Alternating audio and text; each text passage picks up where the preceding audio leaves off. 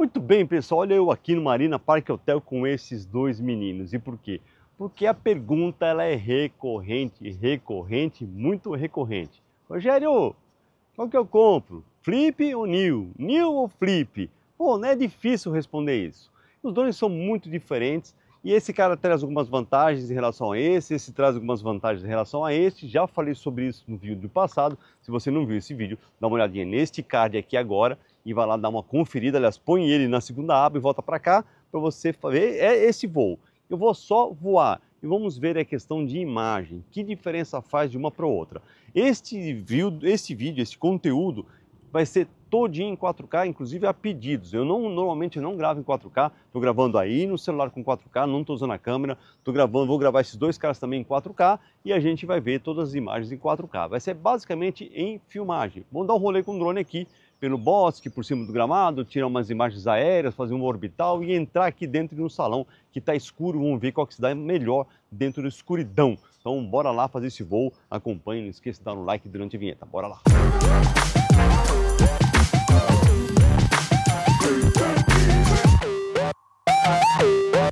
De cara, tá aí, ó, a estabilização, né? Você vê que o drone está sofrendo um pouquinho, tá ventando aqui, uma... não tá ventando hoje, não tá forte. É que aqui tem um corredorzinho de vento, ó, e o drone está de lado.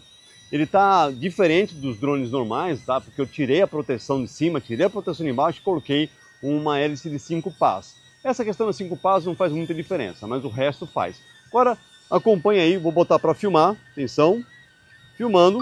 Vamos dar um rolê, ver qual é que é. Vou passar por dentro do bosque primeiro, acompanha aí. Bora lá.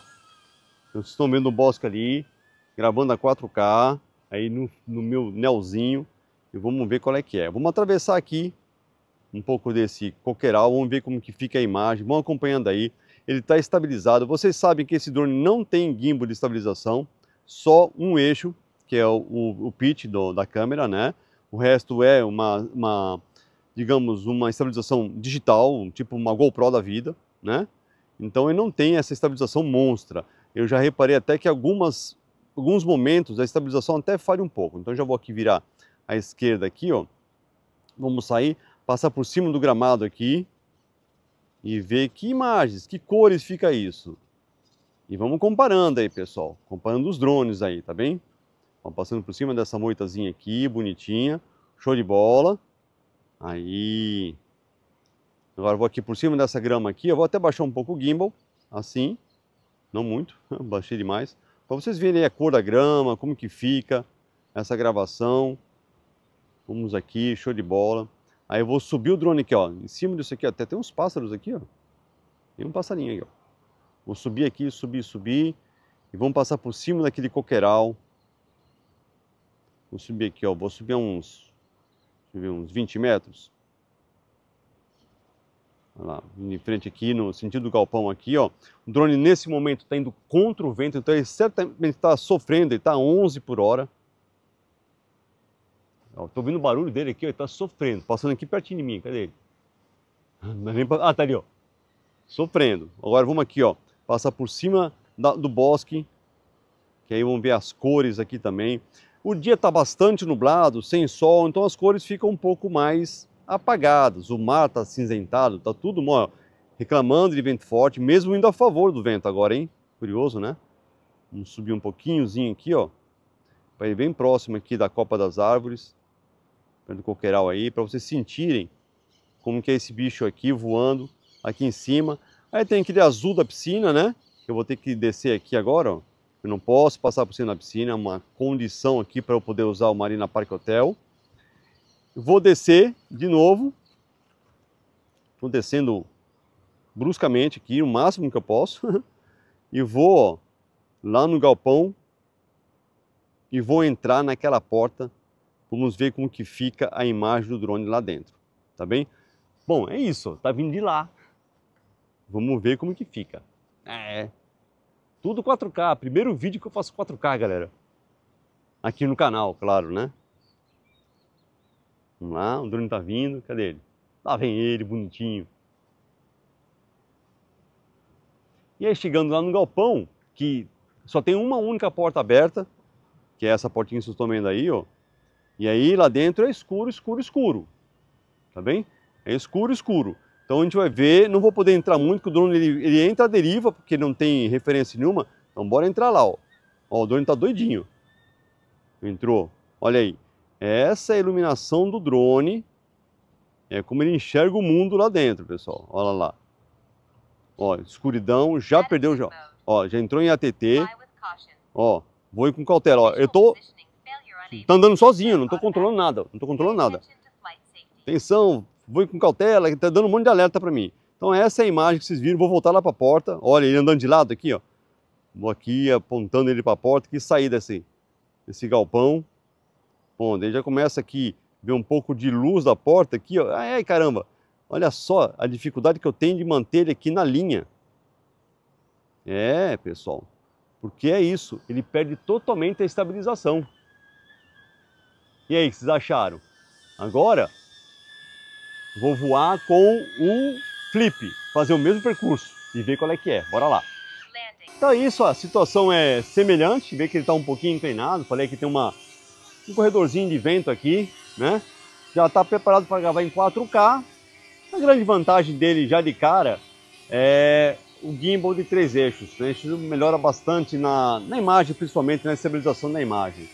Com relação à estabilização do drone, não vejo muita diferença em relação ao New. Achei que o New está um pouquinho melhor porque eu tirei aquelas proteções todas dele. E aqui não dá para tirar. Então, bora voar, virar ele para lá e vamos atravessar o bosque, né? Botar para gravar, gravando em 4K e bora lá.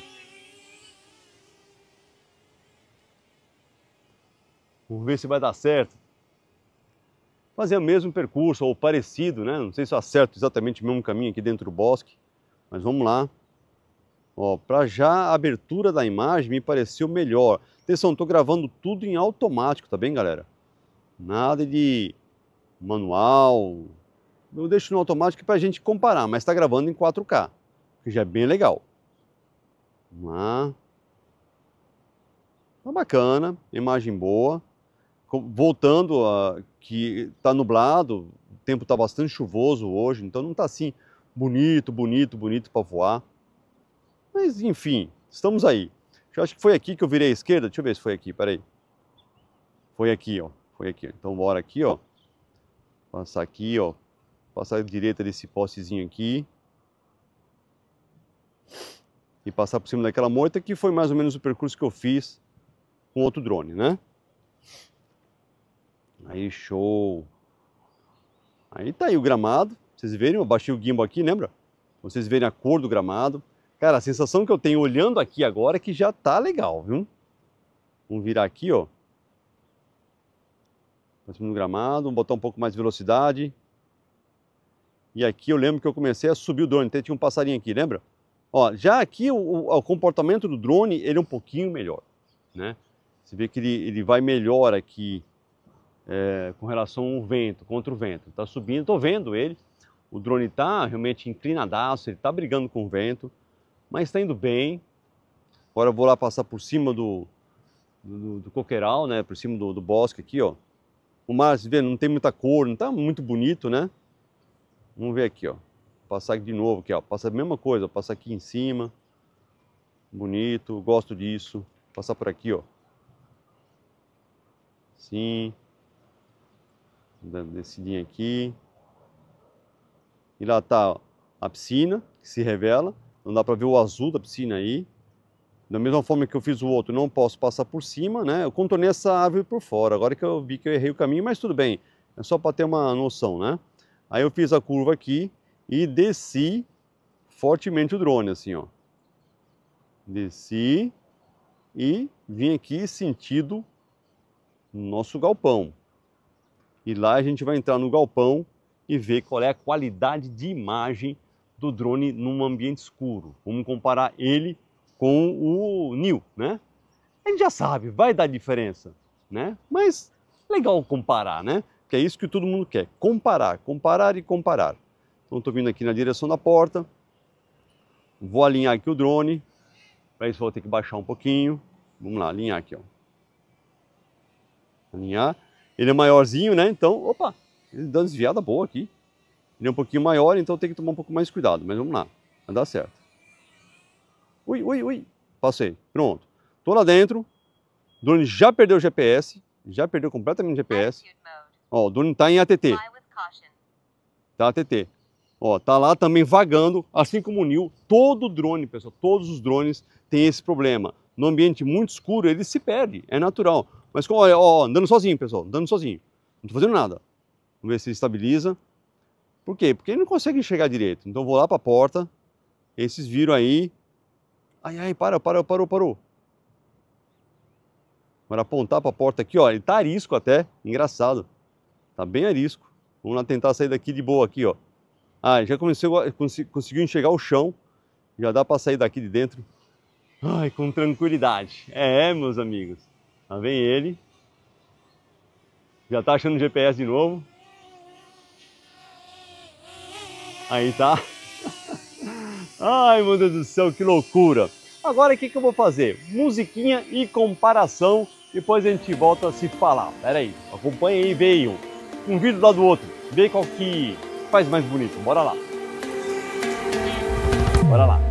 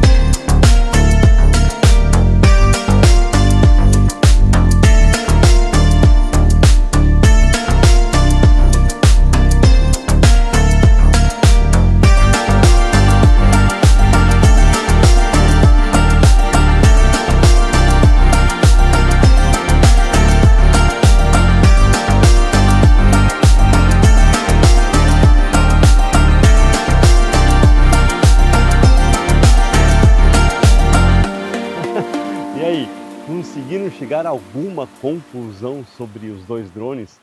Qual é mais legal, qual que é melhor?